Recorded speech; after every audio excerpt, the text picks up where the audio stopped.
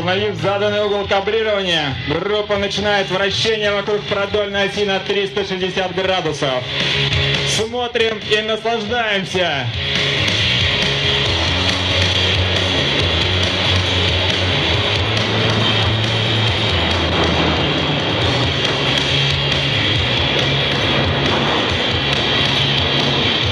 Монолит из девяти мигов даже не шелохнулся.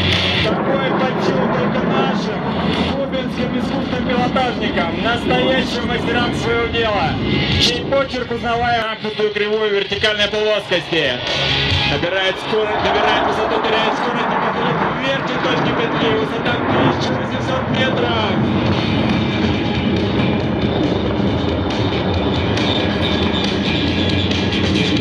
Оглушив нас грохотом двигатель РД-33 переходит на нисходящую часть петли с перегрузкой 6 единиц.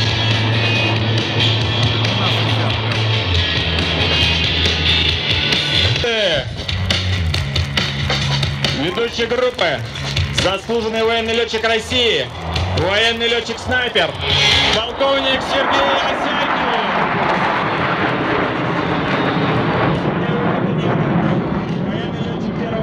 Летчики прославленного авиацентра демонстрируют пилотаж на боевых ударных вертолетах Ми-28Н «Ночной охотник».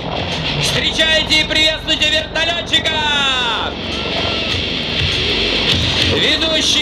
Группы. Старший инструктор-летчик отделения боевых вертолетов летно-методического отдела Торжокского авиацентра. Заслуженный военный летчик России, летчик-снайпер, подполковник Эдуард Казачек, винтокрылый ас, участник боевых действий. Подполковник Эдуард Казачек налетал более 3600 часов. Правый ведомый, командир звена вертолетной эскадрильи 344-го ЦБП, майор Дмитрий Архипов, летчик второго класса, участник боевых действий, общий налет более 1400 часов. Левый ведомый, старший инструктор, летчик исследовательского отдела Торжокского авиацентра, подполковник Геннадий Гордиенко. Летчик первого класса, участник боевых действий, общий налет более 3700 часов. И хвостовой ведомый, как бы сказали стрижи или витязи, копченый, командир вертолетной эскадрильи 344-го ЦБП, подполковник Александр Стопычев, летчик первого класса.